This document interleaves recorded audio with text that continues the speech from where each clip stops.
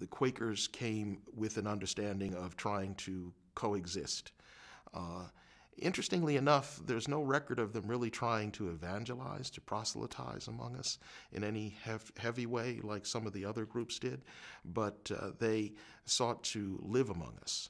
Um, and early on, especially at the point where many of our people were being moved out uh, during the early uh, uh British colonial rule, the um, the Quaker communities set up safe zones for us.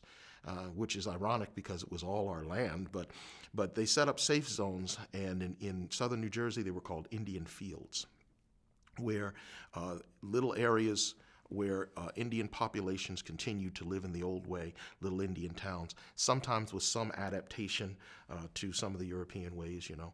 But uh, they were, we were able to continue to, to live together in that, in that fashion. A lot of it was because of the very different view of, of um, how to live among us and that the Quakers had versus those that came that did not have that belief. And the Quakers, from what I understand, have always been given toward an, uh, an attitude of toleration and peaceful coexistence.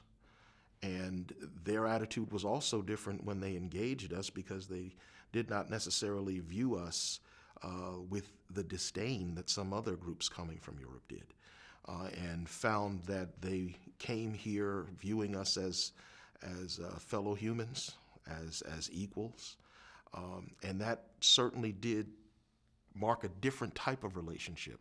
Interestingly enough, it's a relationship that continues to this very day. Uh, my tribe has a close relationship with, with the Quakers of the region, uh, and uh, we still meet together on pretty regular basis.